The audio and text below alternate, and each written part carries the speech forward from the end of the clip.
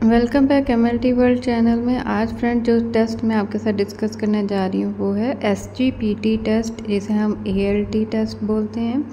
इस टेस्ट के कई चार नाम हैं।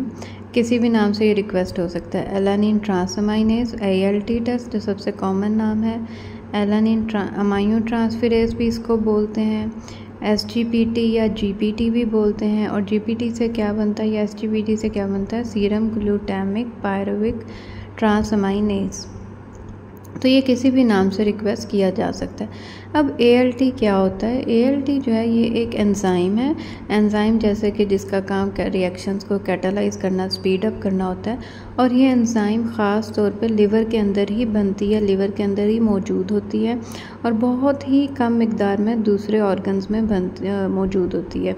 लेकिन सबसे ज़्यादा इस, ये स्पेसिफ़िकली जो लिवर के अंदर मौजूद होती है। इस वजह से अगर कोई भी लिवर इन्फेक्शन हो गया या लिवर के अंदर कोई भी डिज़ीज़ होगी तो इसका लेवल जो है बढ़ जाता है ब्लड के अंदर, जिससे हमें लिवर डिज़ीज़ को जांचने में लिवर डिज़ीज़ को चेक करने में आसानी हो जाती है। तो ए टेस्ट जो ये हमें हेल्प करता है लिवर के फ़ंक्शंस को चेक करने के लिए। ये कई दफ़ा सिंगल भी रिक्वेस्ट की जाती है और कई दफ़ा लिवर फ़ंक्शन के साथ रिक्वेस्ट किया जाता है ये टेस्ट अब इस टेस्ट को क्या कर, कि किन कंडीशंस में चेक करना होता है? अगर लिवर डिज़ीज़ है, उस कंडीशन में डॉक्टर रिकमेंड करते हैं। अगर हैवी अल्कोहल यूज़ है, उस कंडीशन में चेक किया जाता है। अगर कोई फैमिली हिस्ट्री या लिवर डिज़ीज़ की उस सूरत में चेक किया जाता है, इसके अलावा डायबिटीज़ में और ओबेसिटी में, इन तमाम कंडीशंस में ए टेस्ट को चेक किया जाता है। अब लिवर के ऐसे क्या सिम्टम्स और साइन और सिम्टम्स होते हैं लिवर कंडीशन के जिसमें डॉक्टर जो है वो ए टेस्ट जो है वो लिखते हैं या फिर वो लिवर फ़ंक्शन टेस्ट लिखते हैं। नोज़िया और वॉमिटिंग सबसे कॉमन है।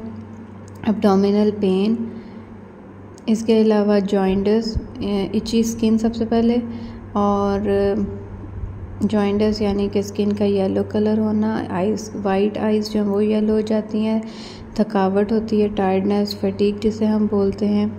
इसके अलावा भूख नहीं लगती एपिटाइट लॉस इस टेस्ट को चेक करने के लिए कौन सा ब्लड सैंपल चाहिए था ये ब्लड टेस्ट होता है, इसके लिए वेन से सैंपल जो वो कलेक्ट किया जाता है क्लॉट एक्टिवेटर ट्यूब में, जो आप डायग्राम में देख सकते हैं। किसी भी टाइम पे हम सैंपल जो है वो कलेक्ट कर सकते हैं। इसके लिए फास्टिंग जो है वो ज़रूरी नहीं है। बस पेशेंट की वेन से जो है वो सैंपल को कलेक्ट किया जाता है। जो रेड और फिर लैब में सैंपल को सेंट्रीफ्यूज करके सीरम से ये टेस्ट परफॉर्म किया जाता है। अब नॉर्मल रेंज हम देख लेते हैं मेल्स में नॉर्मल रेंज हर लैब में थोड़ी बहुत वेरी हो सकती हैं। जनरल मैं आपको बता सकती हूँ मेल्स में ये up to 40 unit per litre यानी कि 40 यूनिट पर लीटर से कम होगा तो नॉर्मल है 40 यूनिट पर लीटर से ज़्यादा होगा तो यह लिवर डिज़ीज़ को शो करेगा। और फीमेल्स में जो है वो up to thirty six unit per litre तक नॉर्मल कंसिडर किया जाता। है तो ये एक छोटी सी वीडियो थी ए टेस्ट के बारे में। आई होप कि आपको ये वीडियो अच्छी लगी होगी। अगर अच्छी लगी है तो लाइक का बटन प्रेस कीजिए, कमेंट में बताइए। अगर किसी और टेस्ट के बारे में आप जानना चाहते हैं तो वो भी कमेंट्स में लिखिए। और सबसे इम्पोर्टेंट पॉइंट चैनल को सब्सक्राइब करना ना भूलिएगा, जो कि नई वीडियो बनाने के लिए बहुत ही अच्छी मोटिवेशन होती है मेरे लिए। तो थैंक यू सो मच।